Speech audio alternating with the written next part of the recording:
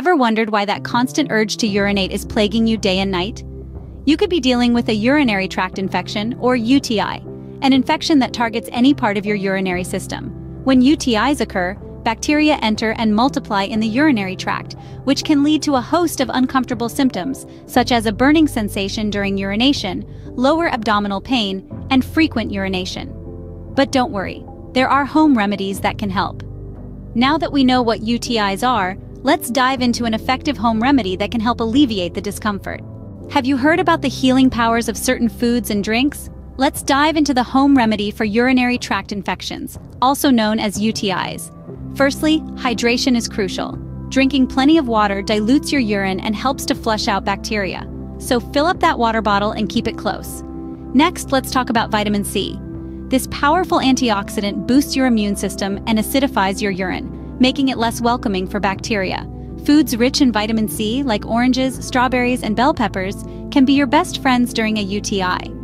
A heating pad can also provide some much-needed relief from UTI pain. Place it over your lower abdomen to soothe the discomfort and relax your muscles. Now, you might be tempted to reach for an antibiotic, but hold on. Overuse of antibiotics can lead to antibiotic resistance, which means the drugs may not work when you really need them. So it's best to stick to natural remedies unless prescribed by a healthcare provider.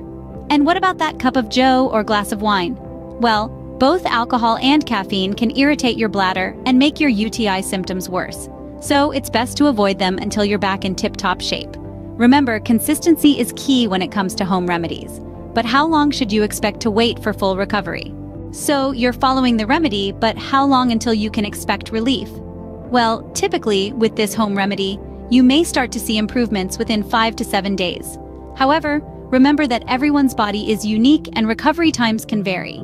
Now, let's address the elephant in the room, cranberry juice and supplements.